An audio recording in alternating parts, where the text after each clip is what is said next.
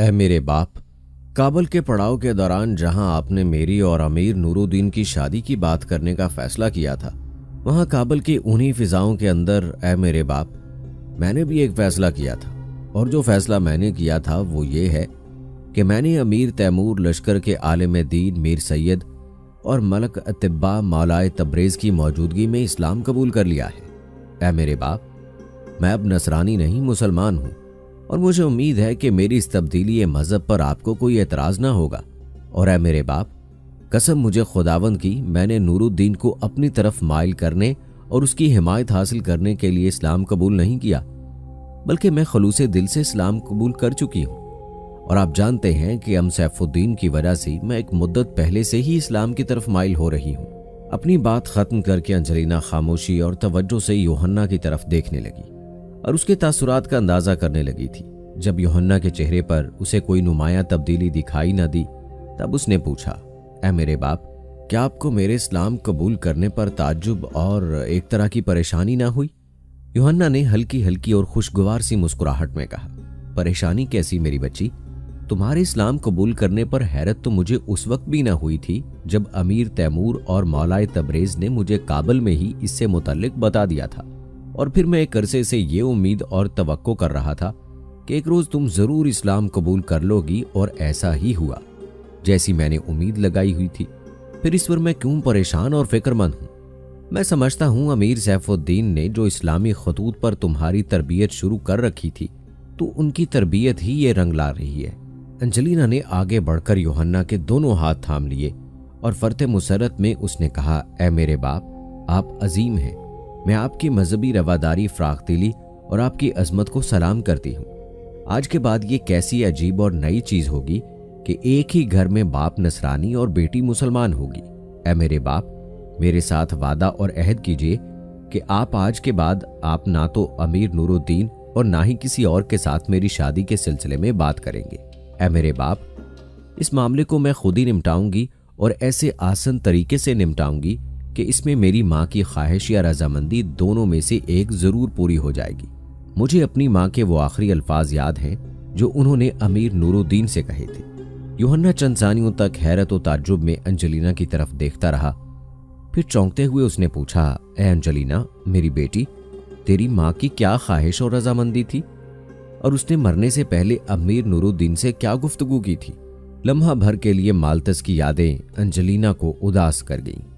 पर जल्द ही उसने अपने आप को संभाला और बोली ए मेरे बाप, जिस रोज दरियाए जमुना के किनारे हमारे लश्कर ने पड़ाव कर रखा था और अमीर नूरुद्दीन हमारे खैमे में आए थे और आप थोड़ी देर तक उनके पास बैठने के बाद माँ के लिए तबीब से दवा लेने चले गए थे, उसी रोज आपके जाने के बाद माँ ने अमीर नूरुद्दीन को अपने पास बुलाया और उन्हें मुखातिब करते हुए कहा था ए नूरुद्दीन मेरी दिली ख्वाहिश है कि तुम अंजलिना की माजी की सारी ज्यारतियों को फरामोश करके उसे अपनाने का अहद कर लो। मैं तुम्हें वादा देती हूँ कि अंजलिना तुम्हें यादों की खुशबू जैसा खुश, बातों की लाग जैसा पुरसकून रखेगी।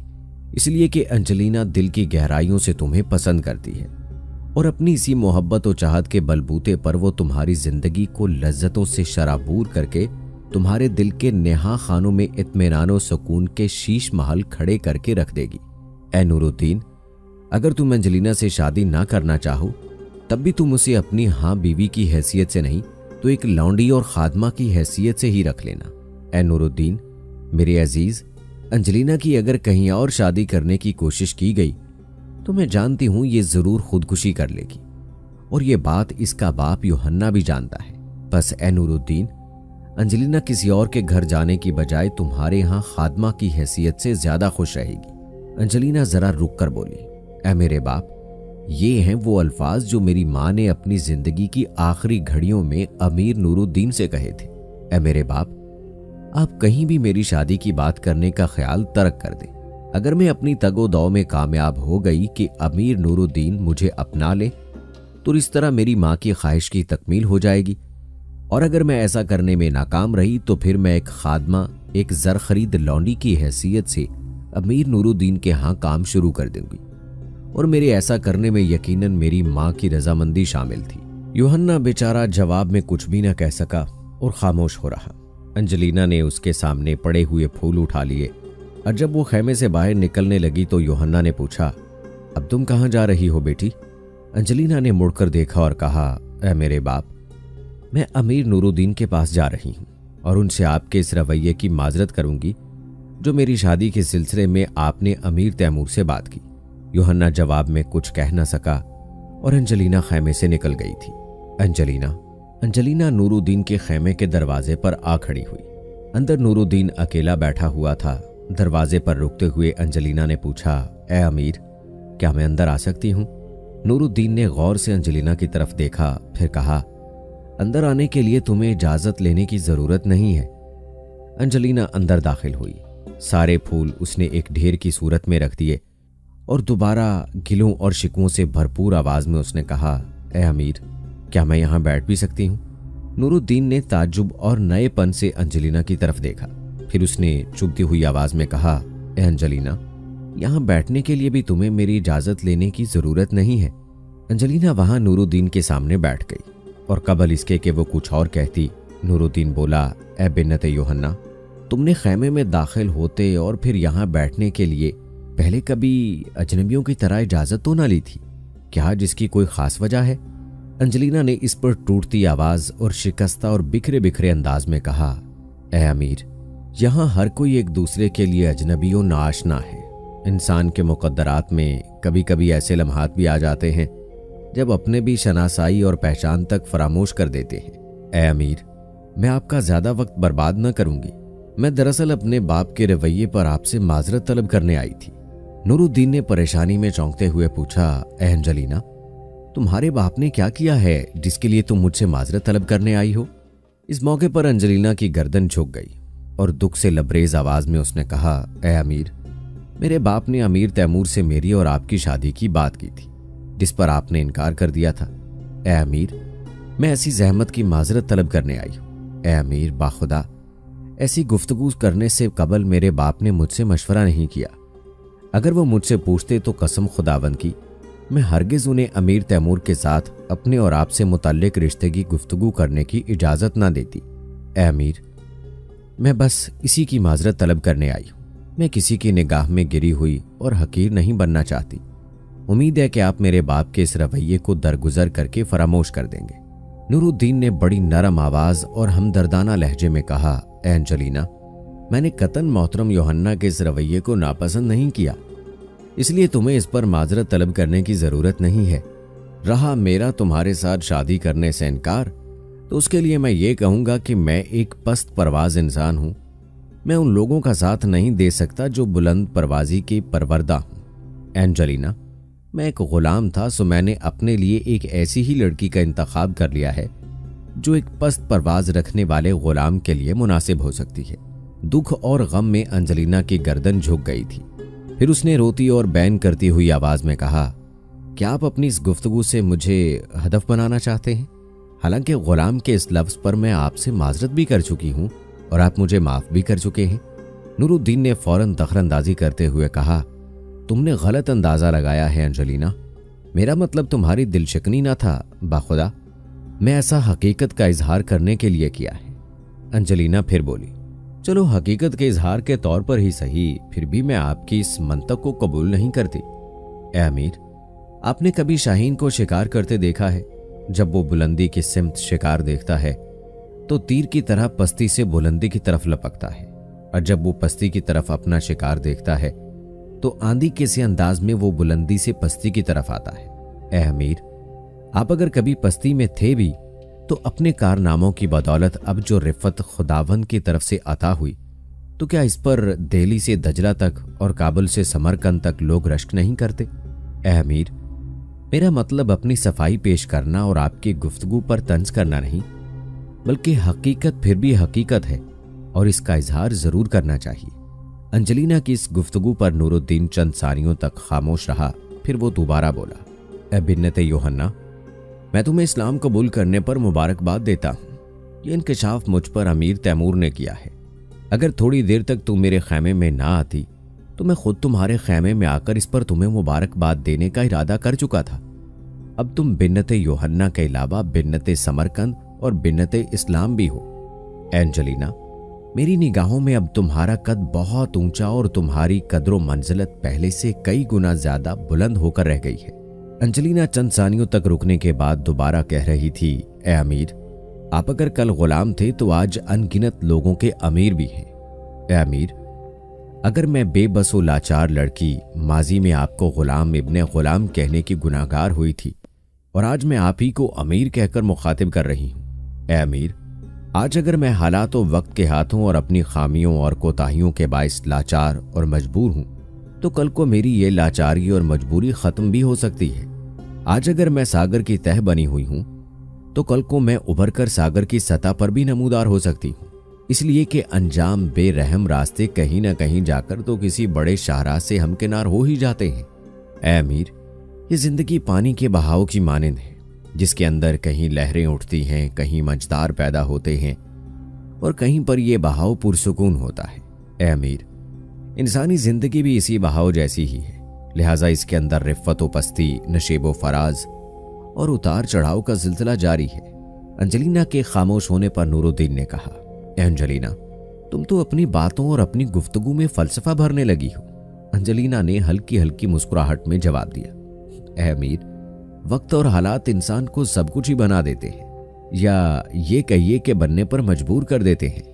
लिहाजा मैं वक्त और हालात के ताबे हूँ और कायनात के ये दोनों मुझ पर भी असरअंदाज हुए। नूरुद्दीन ने इस बार बात का रुख बदला और पूछा, और ये फूलों के ढेर मुझे किस खुशी में पेश किए गए हैं? अंजलिना ने फ़ौरन सफ़ाई पेश कर दी। अमीर, आप परेशान ना हो। ये फूल आपको कोई मतलब निकालने के लिए नहीं पेश किए गए, बल्कि मैं लश्कर की दीगर औरतों और लड़कियों के साथ अपने पड़ाव के अतराफ की वादियों में गई थी और वहीं से ये फूल चुनकर लाई थी और फिर अंजलिना कहते कहते खामोश हो गई। क्योंकि लश्कर के अंदर कूच के नकारे बजने लगे।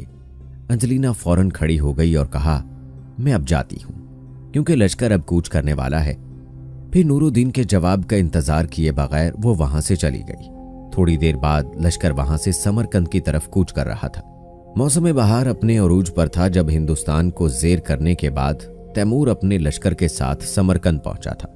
लोगों ने दरियाए जीजों के किनारे तक आकर लश्कर का इस्तकबाल किया था। और उनका इस्तकबाल करने वालों में मकामी उमरा और रौसा, बाहर से आए हुए सौदागर और रौसा भी शामिल थे। मर्द औरतों का एक जमे गफीर था जो इस्तकबाल के लिए दरियाई हिजों के किनारे जमा हो गया था। और उन इस्तकबाल करने वालों में मलका सराय खानम और शहजादा मोहम्मद सुल्तान, पीर मोहम्मद और खलील की माँ खानजादा भी शामिल थी। खानजादा अपने बेटों में से चूँकि खलील को ज़्यादा पसंद करती थी इसलिए वो उस चक्कर में थी कि अमीर तैमूर शहजादा खलील को अपना वली अहद मुकर करे, पर ऐसा होता उसे दिखाई ना दे रहा था। मलका सराय खानम और खानजादा की तरफ़ से अमीर तैमूर, शहजादा मोहम्मद सुल्तान, पीर मोहम्मद और खलील पर मोती नछावर करने के अलावा हजब मामूल सोने का बोरा भी फेंका गया। मलका सराय खानम जब अमीर तैमूर के नज़दीक आई तो तैमूर ने राजदारी के साथ उसे मुखातिब करते हुए कहा अपने कासद के हाथ तुम्हारा खत मुझे हिंदुस्तान की सरजमीन में मिल गया था। और, बकौल तुम्हारे अगर शारी मल्क वाकई खलील के बच्चे की माँ बनने वाली है तो फिर मैं उसे माफ़ करता हूँ, वरना कसम खुदाबंद की। मैंने पुख्ता अजम कर लिया था कि उसे कत्ल करके ही छोड़ूँगा। बहरहाल, अब वो हरम में रह सकती है। मलका सराय खानम ने गहरी मुस्कुराहट में कहा, समरकंद के अंदर आपकी गैर मौजूदगी में आपके वली अहद से मुतलक भी चहमगोइयाँ होती रही हैं। क्या मैं जान सकूँगी कि आप किसे अपना वली अहद बनाने का आज़म कर चुके हैं? क्योंकि खानजादा खलील के लिए भी वली अहदी की उम्मीदवार है। अमीर तैमूर के होंठों पर उसी लम्हे हल्की हल्की मुस्कुराहट खेलने लगी। फिर उसने कहा, गो, अभी तक मैंने कोई फैसला नहीं किया कि मेरा वली अहद कौन होगा। लेकिन ये अमर तयशुदा है कि यह मकाम किसी भी सूरत खलील हासिल नहीं कर सकता। ऐसा उस वक्त भी नामुमकिन होता, अगर मेरा कोई बेटा और पोता ही ना होता। मलका सराय खानम चूँकि खुद अपने बेटे शहजादा शाहरुख के लिए वली अहद की उम्मीदवार थी, लिहाजा अमीर तैमूर के इस जवाब पर वो मुतमिन और खामोश हो गई थी और लश्कर इस्तकबाल करने वालों के हजूम में समरकंद शहर में दाखिल हो गया था। ये आठवां मौका था कि अमीर तैमूर एक फाते की हैसियत से समरकंद में दाखिल हुआ था और इस बार उसके साथ चूँकि हिंदुस्तान से हासिल किए हुए हाथी भी थे, लिहाजा समरकंद के लोग हैरत व ताज्जुब के साथ उन कोहे पैकर हैवानों को देख रहे थे, जिनके जिसम पर तरह तरह के रंग मले हुए थे और झूमते झामते आगे बढ़ रहे थे। हिंदुस्तान से अमीर तैमूर अपने साथ चूँकि दिल्ली की जामे मस्जिद का नक्शा और 200 मामार और सना भी अपने साथ लेकर आया था। लिहाजा समरकंद में दाखिल होने के एक दो रोज बाद ही उसने समरकंद में जामे मस्जिद दिल्ली जैसी एक अजीम शान मस्जिद की तामीर का काम शुरू कर दिया था। हिंदुस्तान से वापसी के बाद गो तैमूर बज़ाहिर समरकंद की जामे मस्जिद की तामीर में मसरूफ दिखाई देता था। लेकिन अंदर ही अंदर वो बेपनाह जंगी तैयारियों में मसरूफ था और साथ ही साथ अपने लश्कर को आराम का मौका भी फ्राहम कर रहा था। दरअसल अब वो तुर्की के बादशाह बायजीद यल्दरम को अपने सामने जेर करने का फैसला कर चुका था। वो तीन कुवतों को अपने सामने सिरनगू करना चाहता था। एक तुर्की का सुल्तान बायजीद यल्दरम दूसरा मिस्र का सुल्तान बरकूक और तीसरा बगदाद का सुल्तान अहमद, और वो इस बिना पर के तैमूर ने बगदाद फतह करके उस पर अपना हाकिम मुकर किया था। लेकिन उसके बगदाद से जाने के बाद बायजीद यलदरम और सुल्तान बरकूक की शह पर बगदाद का सुल्तान अहमद, जो तैमूर के हमले से पहले बगदाद छोड़कर भाग गया था, बगदाद पर हमलावर हुआ। तैमूर के हाकम का उसने खात्मा कर दिया और बगदाद पर कब्जा करने के बाद वो सुल्तान बगदाद की हैसियत से फिर सामने आ खड़ा हुआ था। बायजीद के खिलाफ तैमूर के दिल में नफरत पैदा होने की दूसरी और बड़ी वजह यह भी थी कि तैमूर के कुछ सरदार उसकी खुश्क मिजाजी, तंग दिली और जुल्म सितम से तंग आकर उसके हाथ से भाग गए और बायजीद यल्दरम के पास जाकर पनाह ले ली। तैमूर ने बायजीद से अपने उन सरदारों की वापसी का मुतालबा किया, लेकिन बायजीद ने ऐसा करने से इनकार कर दिया था। तब तैमूर ने बायजीद के खिलाफ लश्कर कशी का फैसला कर लिया और उसे यकीन था कि बायजीद को अपने सामने जेर करने के बाद मिस्र के सुल्तान बरकूक और बगदाद के सुल्तान अहमद को मार भगाना उसके लिए आसान हो जाएगा। तैमूर और बायजीद में कोई भी कदर मुश्तरक न थी। इकतदार हासिल करने के बाद तैमूर ने मुस्लिम इलाकों को ही रौंद कर उन पर कब्जा करना शुरू कर दिया था। अपनी पूरी ज़िंदगी में उसने इस्लाम दुश्मन कुवतों के खिलाफ कोई मार का सर ना किया था। वो मजबो मिल्लत की फलाह को यकसर फरामोश करके सिर्फ़ अपनी सल्तनत वसी करने में लग रहा था। बायजीद यल्दरम की हालत तैमूर से मुकम्मल तौर पर मुख्तलिफ़ थी।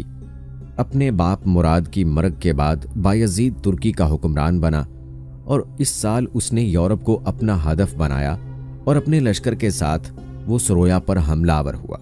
सरोया का बादशाह लाजार और उसका बेटा स्टेफन दोनों ही इस हमले की ताब ना ला सके। बायाजी तूफानी अंदाज में सरोया के अंदरूनी हिस्सों में घुसता चला गया था। उसने सरोया की चांदी की कानों पर कब्जा कर लिया, जो यूरोप की बहुत बड़ी और कीमती कानें समझी जाती थी। इसके अलावा बायजीद ने यूरोप में स्कब के मकाम पर एक तुर्की नाव आबादी भी कायम करके रख दी थी। यहाँ तक कि बायजीद यलगार करता वेदेन तक जा पहुँचा था। सरोया के बादशाह लाजार और उसके बेटे स्टेफन ने जब देखा कि बायजीद से मुकाबला करना उनके बस की बात नहीं है तो उन्होंने बायजीद से सुलह की दरख्वास्त की और लाजार के बेटे स्टेफन ने खुद बायजीद की खिदमत में पेश होकर न सिर्फ़ सुलह की दरख्वास्त की, बल्कि उसने अपने खूबसूरत और हसीन तरीन बहन डिसेपना को भी बायजीद के अकद में देने की पेशकश की। इस तरह बायजीद और सरोया के बादशाह लाजार के दरमियान सुलह हो गई, जिसके नतीजे में सरोया की शहजादी डिसेपना की शादी बायजीद से कर दी गई। इसके अलावा लाजार और स्टेफन ने चांदी की कानों की आमदनी का एक हिस्सा हर साल बायजीद को खराज के तौर पर देना भी कबूल कर लिया था। इस तरह बायजीद की यूरोप के अंदर एक हुक्मरान की हैसियत से पहली कामयाबी और नफा बख्श यलगार थी। सरोया के अंदर कामयाब यलगार के बाद यूरोप में दरियाए डेन्योब के किनारे, विलाचिया के शहजादे मायरज ने बायजीद के खिलाफ जंग करने का फैसला कर लिया। बायजीद को जब मायरज के इरादों की खबर हुई तो वो कुदरत की गजबनाक अंगड़ाई और सहरा की गहरी प्यास की तरह अपने लश्कर के साथ विलाचिया की तरफ़ बढ़ा उसने विलाचिया को जेरो जबर करके रख दिया और शहजादा मायरज को अपने सामने सर झुकाने और इतात करने पर मजबूर कर दिया था। मायरज की इस मुहिम से बायजीद अभी फारिग ही हुआ था कि एशिया में करमियान के शहजादे ने इसके खिलाफ बगावत कर दी। अब बायजीद का रुख यूरोप से एशिया की तरफ़ मुड़ गया। वो आंधी और तूफ़ान की तरह एशियाई कोचक की तरफ़ बढ़ा और अपने दुश्मनों और बागियों को उसने खसो खाशाक की तरह उड़ाकर रख दिया। अब वो एशिया के वसी इलाकों के अलावा बासफोरस से डेन्यूब तक के इलाकों का हुक्मरान था। अब्बासी खलीफा मतवक्ल अल्लाह जिसकी हालत गो एक कठपुतली ही की सी थी, लेकिन वो मिस्र में कायरा के अंदर मौजूद था और अब भी रूहानी इकतदार का मालिक था। इसी खलीफा ने न सिर्फ़ बायजीद की इन फतूहत को सराहा, बल्कि बायजीद को सुल्तान के खताब से सरफराज फरमाया। उस्मानी तुर्कों के अंदर बायजीद पहला हुक्मरान था जिसे ये एजाज हासिल हुआ।